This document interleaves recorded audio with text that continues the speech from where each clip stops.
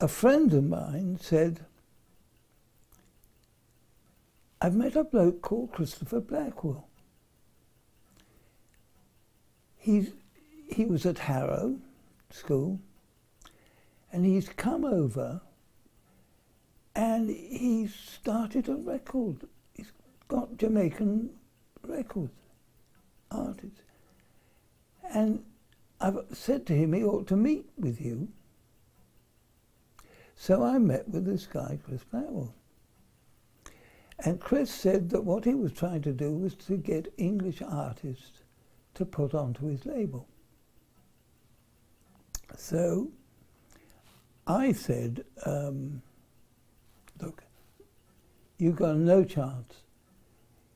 You can't start a record label because it's a cartel. There's EMI, etc., Decca, Philips.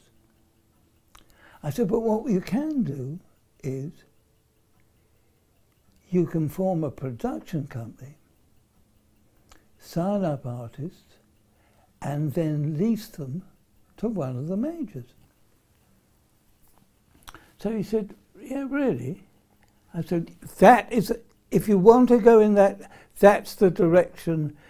There's a man called Alan Freeman. He had Nixa Records, and he nearly went bankrupt with Jimmy Young's Too Young. It just won't, you know, you, you can't, I, sure, believe you me, you won't be able to do it. So I also talked to Harry Robinson about this. And um, Harry was a very, very canny Scot. And he said, yeah, okay, Chris, let's do it. Uh, we'll form a partnership and we'll call it BPR, Blackwell, Peers and Robinson. Um, there was Chris Blackwell uh, with, uh, with Island going around to either Brixton or wherever with Jackie Edwards, who was his manservant. He was a singer as well. And they were going to Birmingham, Paddington, you know, anywhere where there was a coloured situation. And um, I remember Chris saying, to, Do you know, have a listen to this record. It's a Jamaican record, you see. And um, it was by Roy and Millie. And there was this strange, eeky, very odd voice.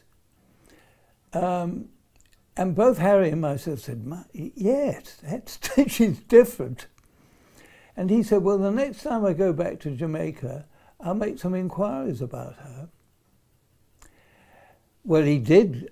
And what then happened was I remember him telephoning us from Jamaica and saying, I found uh, Millie. What do you think? We said, well, bring her over. Well, there is the next big hit we had. My Boy Lollipop. Now that was six million eventually. It's recorded in the UK. I think Ernest Ranglin, the Jamaican jazz guitar player, he did the arrangement. I think Harry Robinson had got quite a tie up with Phonogram. And an A&R man there called Jack Baverstock. And that is how we really formed a relationship with Phonogram. But what we also always did was we only licensed to the UK so that we could go where we wanted in the States or any other market keep on running. Big, big hit. Young Stevie Winwood and Spencer. I didn't find them. Chris did. And how Chris found them was it was uh, Millie, My Boy Lollipop, Birmingham, program, Thank Your Lucky Stars. But you had to, if you were on Thank Your Lucky Stars, what you had to do was you had to stay overnight in Birmingham. So Chris went to an R&B club, walked into the R&B club, and he heard this voice. And of course, it was young Winwood.